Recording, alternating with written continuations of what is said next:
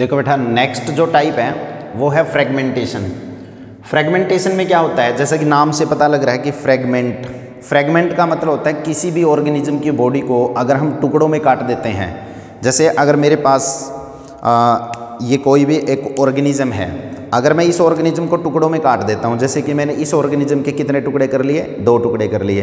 तो इस एक टुकड़े से या इस एक बॉडी के पार्ट से पूरा ऑर्गेनिज्म डेवलप हो जाएगा और इससे भी एक पूरा ऑर्गेनिज्म डेवलप हो जाएगा। तो इस तरीके से अगर एक ऑर्गेनिज्म के आप दो या दो से ज़्यादा पार्ट में डिवाइड कर देते हैं ना, और उससे दो किए हैं तो दो ऑर्गेनिज्म डेवलप हो जाएँगे, तीन किए हैं, चार किए हैं तो उतने ही ऑर्गेनिज्म डेवलप हो जाएँगे।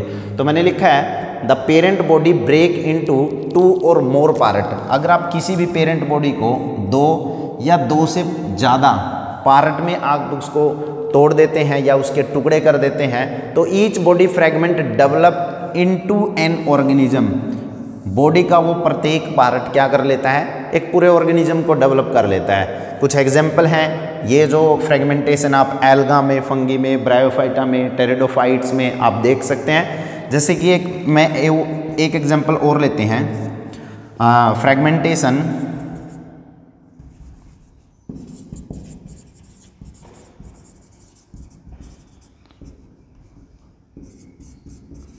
अक्कर इन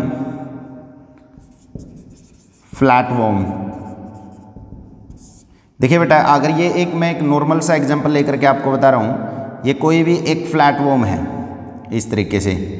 अगर आप इसकी बॉडी को डिवाइड कर देते हैं फ्रेगमेंट कर देते हैं तो इसकी बॉडी का प्रत्येक पार्ट जितने भी आपने इसके पीस किए हैं, टुकड़े किए हैं तो बॉडी का प्रत्येक पार्ट क्या कर लेता है? अपनी पूरी बॉडी को जनरेट कर लेता है।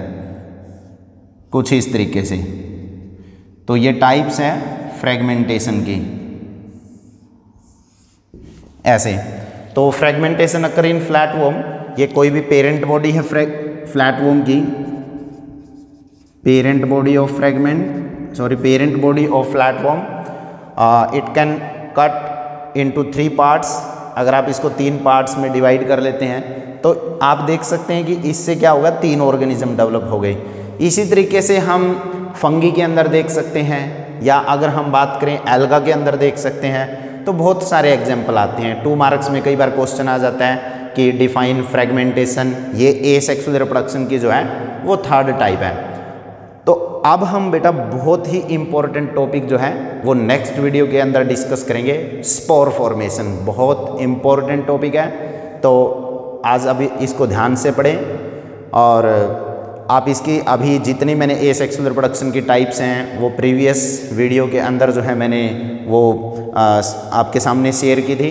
बेटा अगर आपको हमारी वीडियो अच्छी लगती हैं तो please share like and subscribe thank you